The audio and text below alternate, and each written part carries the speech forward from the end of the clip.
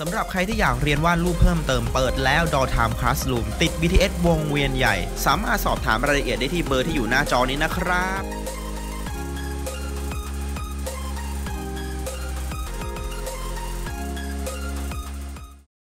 โย สวัสดี ยินดีต้อนรับสู่รายการแฟนลิฟรอชามก่อนอื่นกด follow IG กด subscribe และกดกระดิ่งให้ด้วยนะ ในคลิปนี้เราจะมาวาดดีเทคติฟปิกาจูกัน จะเป็นยังไง ไปดูกันเลยดีกว่า ในคลิปนี้ครับเราจะไม่ใช้กระดาษนะครับคลิปนี้เราจะวาดในคอมกันนะครับผมอะเชื่อว่าจะต้องมีคนเม้นถามตลอดนะครับพี่เบนไอเครื่องวาดรูปนี้มันคืออะไรนะครับ อันนี้คือ Wacom Cintiq 13 HD นะครับซึ่งเป็นรุ่นเก่าแล้วนะครับตอนนี้มีรุ่นใหม่ออกมาแล้ว ซึ่งรุ่นนี้อาจจะไม่มีขายแล้วนะครับ ผมเพราะมันเก่ามากแล้วนะครับผมราคาจะอยู่ที่ประมาณ 40,000 บาทนะครับโดยประมาณนะ อะใครอยากได้ก็ไปสอยกันนะครับผมนะแล้วแต่เลยนะครับ ซึ่งเดี๋ยวนี้ก็จะมีแบบที่ราคาถูกๆ แล้วมีจออย่างนี้ออกมาเยอะแยะมากมายเต็มไปหมดนะครับผมถ้าสนใจก็ลองไปสอบถามได้ที่เพจ Art Equipment นะครับ เดี๋ยวผมขึ้นขึ้นชื่อไว้ให้นะครับผมอะโอเค คลิปนี้จะว่าเป็นปิกาจูแบบในคอมนะครับผม อะมันก็ดีหน่อยว่าลงสีง่ายครับ ในคอมมันจะแบบว่าลงเป็น layer ได้ไม่ต้องกลัวพลาดนะกด control Z ได้ตลอดเวลาอีอีโอเคครับผม ก็ตัดเส้นครับผมนะในคอมยากตรงตัดเส้นอย่างเดียวเลยนะครับนอกนั้นไม่มีอะไรยากเลยครับวานว่าในคอมนี่ครับพอตัดเส้นเสร็จเราก็ลบ layer เส้นล่างทิ้งไปนะครับผมอะลงเงาครับผมเงาครั้งนี้เป็นสีม่วงนะครับ แล้วความดีของการวาดในคอมก็คือเวลาเราลงเงาอย่างเงี้ยมันแบบว่าเออมันแก้ได้อะไรได้มันเกลี่ยได้นะครับผมเพราะมันมีเรื่องของน้ำหนักนะครับ เวลาเรากดลงไปที่หน้าจอของเมาส์ปากกานะครับผมอ่าทีนี้ครับ เติมเงาให้เรียบร้อยครับผม เติมเงา เว้นขาวเว้นอะไรให้มันดูแบบธรรมชาติ พยายามหา reference ดูนะครับผมอย่าไปอย่าไปคิดเองว่าแบบเฮ้ยเงามาตรงนี้ต้องกระทบอย่างนี้ต้องอะไรอย่างนี้ พยายามหา reference ดูบ่อยๆ ครับวันหนึ่งเราจะแบบว่ามองเราก็มองออกเลยว่าเออเงามันต้องมาทางไหนนะครับผมเริ่มแรกก็หา reference ดูไปครับมันช่วยได้เยอะนะครับซีเรียสมากในการหาแบบดูนะครับผมจำเป็นนะครับจะได้เก่งไวๆนะโอเคครับผมลงสีเหลืองไปที่ตัวพิกาจูนะครับผม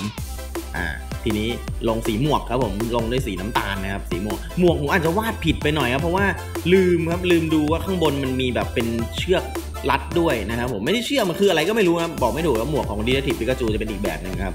สำหรับใครที่ไม่รู้ว่า d e t e c t i v e Pikachu คืออะไรนะครับผมมันก็คือเป็นซีรีส์ที่สร้างแยกขึ้นมานะครับผมไม่รู้ข้อมูลผิดหรือเปล่านะใครมีข้อมูลที่ถูกต้องก็บอกกันด้วยนะครับก็จะเป็นแนวที่ว่าแบบเออถ้าพิกาจูพูดได้นะครับ มันจะเป็นยังไงนะครับผมนะ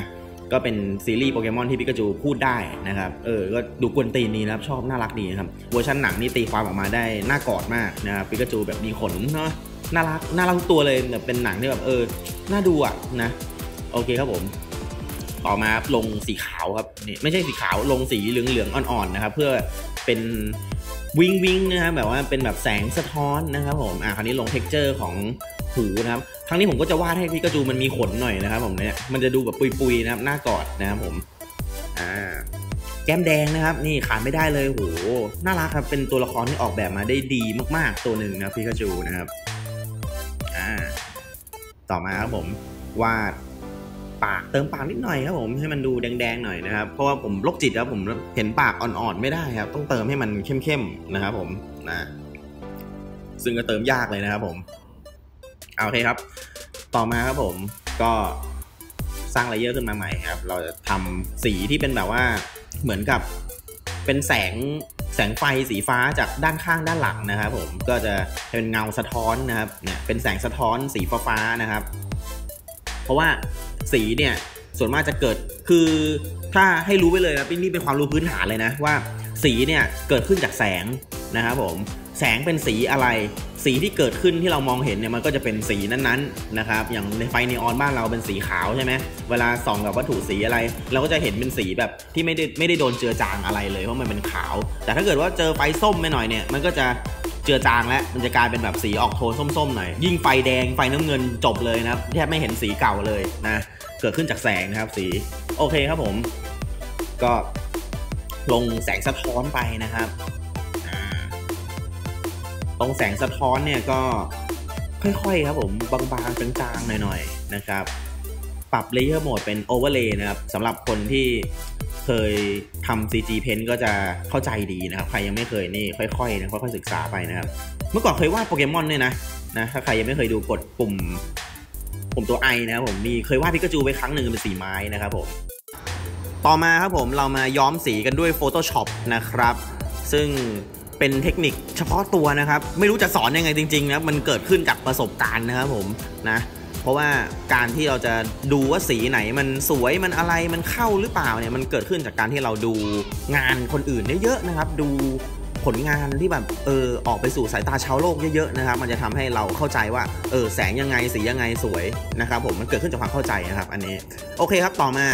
เอามาทำให้มันขยับได้นิดหน่อยนะครับ ใน After Effects นะครับผมอยากให้ปิกาจูเนี่ยมีสายฟ้าช็อตแบบแบบปิกาอะไรอย่างนี้นะ โอเค ต่อมาครับ ก็ทำ keyframe ครับนี่สายฟ้าสำเร็จรูปนะครับผมไม่ขี้เกียจทำเองนะครับนะเป็น keyframe ครับดึงให้ปิกาจูมันโผล่หัวขึ้นมาจ้าเอ๋อย่างเงี้ยแล้วก็มีไฟฟ้านะครับ แล้วทีนี้ก็ย้อมสีสายฟ้าให้เป็นสีเหลืองนะครับผมนะด้วยการทำ hue and saturation นะครับก็จะทำให้สายฟ้าเปลี่ยนสีได้นะครับ ปรับโหมดเป็นสกรีนนิดหน่อยนะครับผมก็จะเนียนแล้วครับผมอ่าเดี๋ยวเรามาดูดีกว่าว่าปิกาจูจะโผล่มาเท่ขนาดไหนนะครับสามสองหนึ่งโผล่มาโอ้โหเท่มากนะครับผมชอบชอบก็ช่วยแชร์กันด้วยนะครับพบกันใหม่คลิปหน้าครับผม สวัสดีครับ